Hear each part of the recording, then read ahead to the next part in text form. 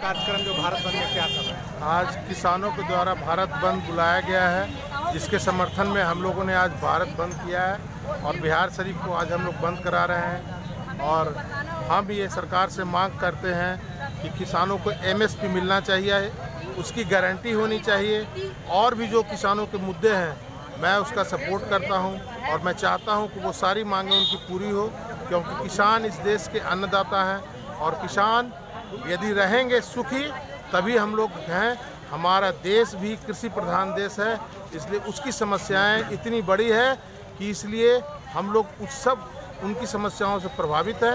उनसे प्रभावित होकर हम लोग आज बंद का आह्वान किए हैं और बंद बुलाए हैं किसान के समर्थन में। मेरा नाम सुनील कुमार। क्या कार्यक्रम आप लोग कर रहे हैं? आज पूरे भारत में जो किसान विरोधी कानून पास हुई है। उसके विरोध में हम लोग खड़ा हुए हैं और हम लोग पूरे हिंदुस्तान के किसानों के साथ हैं। यही मैं मैसेज देना चाहता हूँ कि भारत के किसानों मत घबराना पूरा हिंदुस्तान भारत आपके साथ है। अगर भारत बंद के बाद भी सरकार वापस नहीं लेती है जो किसानों पर कानून है तब अगला कदम क्या होगा? तब तो आनंद आंदोलन चलेगी सड़क से लेकर संसद तक चलेगी। ये फास्टिस्ट सरकार है आप देख रहे हैं। ये शोषणात्मक सरकार है इसलिए ये आंदोलन जारी रहेगा। क्या नाम हुआ आपका?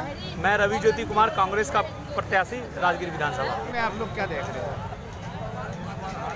भारत के किसानों के विरुद्ध में जो तीन कानून काला कानून जो मोदी सरकार ने बनाया है उससे पूरे भारत के किसान मरमाहत है। इस काला कानून के वजह से पूरा किसान आंदोलित है और उसके समर्थन में पूरा देश की जनता पूरे भारत की जनता आज रोड पर है। आज भारत बंद किसानों के आंदोलन के समर्थन में हम लोग कर रहे हैं। अगर केंद्रीय सरकार कानून को वापस नहीं लेती है तो फिर आप लोगों का क्या होगा? अगला कदम क्या होगा? यदि केंद्रीय का- सरकार कानून वापस नहीं लेती है तो हमारे देश के जो किसान है मरने के लिए तैयार है और वो जो है दिल्ली को चारों तरफ़ से घेरने का काम कर रहा है। और यह संघर्ष हमेशा जारी रहेगा जब तक कि कानून वापस नहीं होता क्या हुआ आपका नाम? अशोक हिमांशु राष्ट्रीय जनता दल अध्यक्ष नालंदा। क्या कार्यक्रम आज आप लोग कर रहे हैं? देखिए आज भारत के किसान संगठनों ने जो भारत बंद का आह्वान किया था पूरे बिहार के महागठबंधन के सभी साथी हम लोग आज अपने अपने ज़िले में किसानों के सहयोग में किसानों का साथ देने के लिए हम लोग सड़क पर उतर गए हैं। सिर्फ़ महागठबंधन ही नहीं आज पूरी जनता भी सड़कों पर उतर गई है।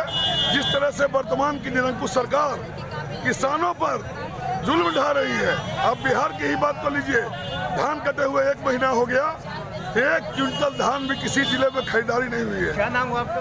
दिलीप कुमार जिला अध्यक्ष नालंदा जिला कांग्रेस के। आंदोलन के समर्थन में जो भारत बंद किए हैं उसका क्या कार्यक्रम? काहे बंद किए हैं जो?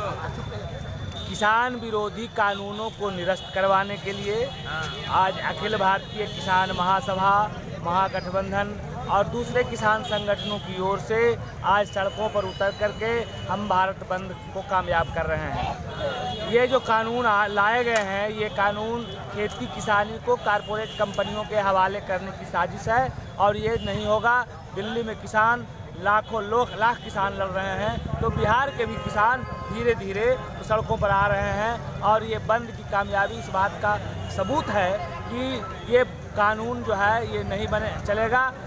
मोदी सरकार को इसको केंद्रीय सरकार अगर ये कानून वापस नहीं लेती है तो फिर अगला कदम क्या होगा? अगला कदम तो दिल्ली में अखिल भारतीय किसान संघर्ष समन्वय समिति तय करेगी उसको हम लोग फॉलो करेंगे। लेकिन बिहार में भी वो जो कानून आए हैं तीनों कानूनों के बारे में वो जागृति और पराली जलाने का जो अध्यादेश लाया गया है जो नया बिजली कानून लाया गया है इन कानूनों के बारे में किसानों को गरीबों को भी जानकारी दिया जाएगा। क्या नाम हुआ आपका? बाल बिहारी लाल अखिल भारतीय किसान महासभा के जिला सचिव और राष्ट्रीय पार्षद।